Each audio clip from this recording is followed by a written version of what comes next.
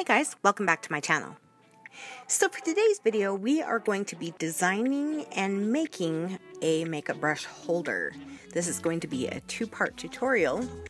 Now, it should go without saying that being a fashion and costume designer, I absolutely have a love for makeup, which comes with a lot of brushes. And I have found quite a few ways to store my brushes in my home, but on the go, I only seem to find a whole bunch of these big, huge kits, and sometimes they're a little bit too much for what I'm looking for.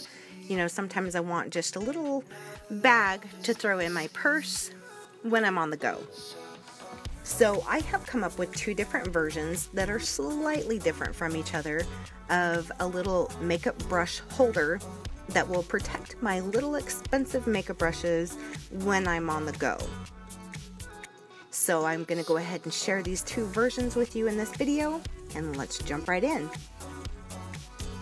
So first things first, I went ahead and drew out kind of an idea of what I wanted on a piece of paper before I started, which I don't always do that, but it is good to get in the habit of it just so you can kind of refer back and see um, how you change your mind about certain design aspects and it's just always a good idea. And you'll have to pardon my filthy brushes, but I just ran to my purse and dug out all the makeup brushes that I currently carry in my purse in my makeup kit. So these are the ones that I tend to take with me everywhere just in case. And in all honesty, I don't wear makeup every single day, but I do have quite a big makeup collection um, when you're in the fashion and cosplay industry. It comes in handy. so what I'm going to do here is I'm just going to draw out kind of a rough outline of how big I want the bag to be. And I think this bag measured right about nine and a half inches by, I believe, eight and a half inches. And what I'm doing is just kind of doing a little bit of design background to see how I want the brush to sit in the bag and how I want the fabric down at the bottom to hold the brushes in and elastic across the top, you know, that sort of thing. Now you don't have to do exactly what I'm doing, but I'm giving you an idea of how I go about designing. Now I do have this other pattern over here that shows a makeup bag that this little um, foldy makeup brush thing will fit in, but that will be for another video. So let's talk fabric. Big surprise here, I was shopping and I found some really cute Wonder Woman fabric. and I thought this would be cute for something and I wasn't sure until I thought of this idea. So I picked up a yard of each of these fabrics and then I found I love pleather. If you've been around my channel for a minute, I absolutely adore pleather. So I found this kind of crimson red pleatherette that um, I was thinking might be cute for the outside of the bag and maybe for the part that covers the base of the brushes. And then I also found this that speaks to my deep, dark, black soul. Oh, so gothic. so I thought this would be a cute one that we could do as well. And I think we're going to go with the red with both of these fabrics. So, the next thing I want to show you is an interfacing. Now this is a very heavy duty felted interfacing. I use this on all of my makeup bags just because it's very stiff. Um, it might be kind of hard for some people to work with, but it protects my makeup and my makeup brushes, so I love it. So here I want to show you guys laying out my pattern on my fabric. Now there, it is very important how you lay out your pattern onto your fabric. We're going to use this block right here as my center visual piece on my product. So I'm lining up in between this line over here and this line over here. And you might want to move your pattern back and forth just so you can check and make sure that the pattern that you're getting on your whatever project it is that you're working looks good visually. I guess is what I'm trying to say. So I will always go through and look at the pattern on my fabric to see where I can lay the pattern out to make it look visually the best. So the next step, we're using this stuff called Vinyl Fuse, and this actually is a um, iron-on vinyl that you put over the top of a regular fabric to make it a vinyl fabric. And if you've never used this before, this stuff is awesome for the top of cottons, just to make them a little bit more heavy duty.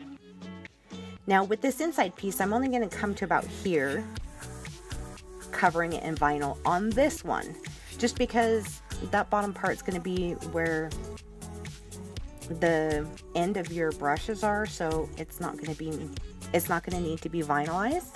Vinylized. Me and my lyrics. Anyway, so what this protectant is also going to do is going to keep the inside of your fabric clean.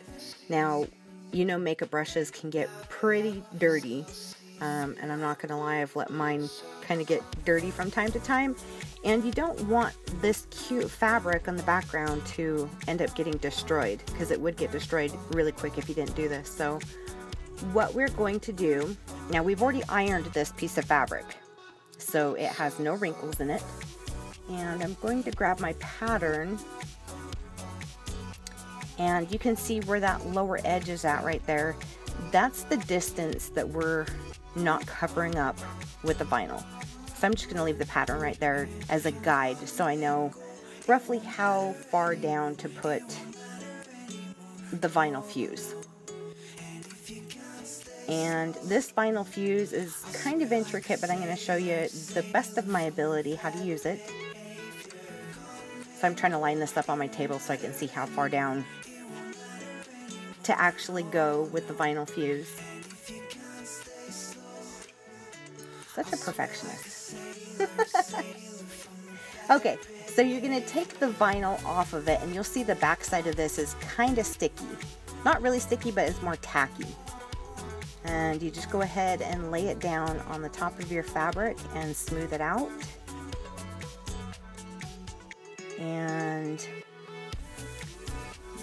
I don't know if this is in the instructions or not but what I like to do after I put the little sticky film on the top of the fabric is take a I mean if you have um just like a roll the rest of the roll and kind of smooth out the vinyl that kind of helps it lay a little bit more flat and gets any air bubbles out of it.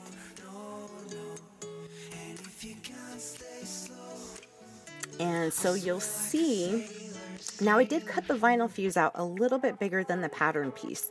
And the reason that I do that is because you have to use the back of that, that paper to face toward the front of the vinyl to iron it on. Because if you just put the iron over the top of this, um, you would probably ruin your iron and your fabric and everything you're working on. So um, I like to cut it out just ever so slightly bigger than my pattern piece so that way that the paper is bigger than the project. And then what I'll do is I'll come in here and I'll cut away the extra vinyl so that way it doesn't stick to um, my drop cloth that I have on my ironing board.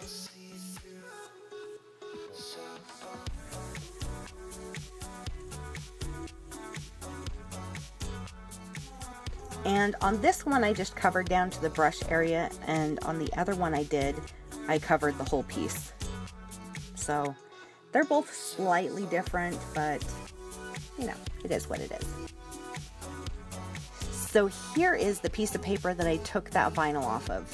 And you can see that the other side of it is kind of smooth and it has kind of a, a tacky kind of feeling to it, but I want to say it's like silicone paper or something.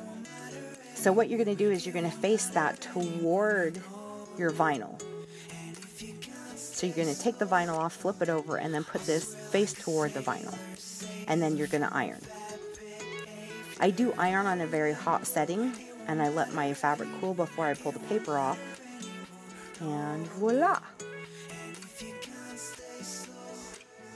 And just make sure that you follow the instructions on your vinyl information. And here is the other side that I did. And like I said, I just covered the whole thing in vinyl on this one. So pretty. So next thing, we took some of that felt interfacing and I cut out a piece for both of these. And it has adhesive on both sides of it. And um, because of that, we're just going to iron it to the, the decorative side of the fabric for right now. So I'll go ahead and I'll put these papers over the top of it just so I don't screw my iron up or my ironing board or my project.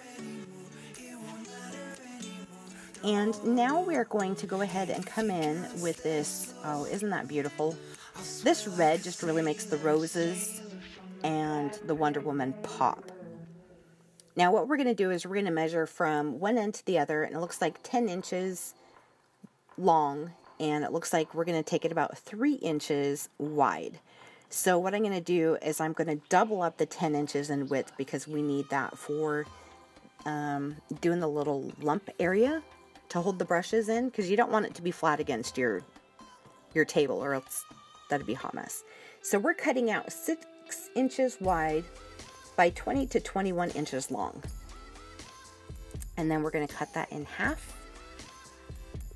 And that is going to be for both bags. And like I said, this is going to be a two-part. I'm going to go ahead and get on over to the sewing machine and that part will come later on this week. So stay tuned for assembly of the makeup brush bag. As always, don't forget to subscribe to my YouTube channel before you leave. Follow me on all other social media and I will see you guys in the next video. Toodles!